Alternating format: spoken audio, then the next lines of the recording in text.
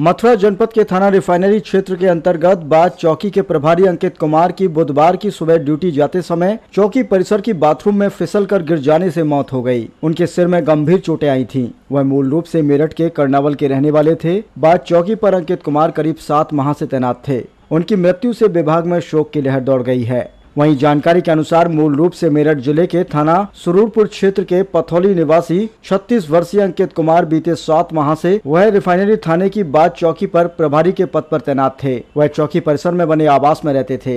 बुधवार की सुबह करीब साढ़े नौ बजे वह ड्यूटी पर जाने के लिए निकले कि चौकी परिसर में पैर फिसल जाने से नीचे गिर गए। इससे उनके सिर में गंभीर चोटें आ गईं। तत्काल उन्हें टाउनशिप स्थित सुपर स्पेशलिटी हॉस्पिटल लाया गया, जहाँ चिकित्सकों ने उनको मृत घोषित कर दिया। अंकित कुमार 2015 बैच के दरोगा थे। उनकी मृत्यु की खबर मिलते ही महकमे में शोक की लहर दौड़ गई। एसएसपी शैलेश कुमार पांडे समेत अनेक अधिकारी मौके पर पहुँच गए। अंकित कुमार के परिजनों को घटना की जानकारी दे दी गई है। मृतक चौकी प्रभारी के एक बेटा और एक बेटी है। दो महीने की बेटी स्पेशल चाइल्ड है। बताया जाता है की अंकित पिछले एक महीने से पैर में दर्द की समस्या से परेशान थे, जिसका वह इलाज करा रहे थे, जिसने भी उनकी मृत्यु की खबर सुनी। वह शोकाकुल हो उठा है।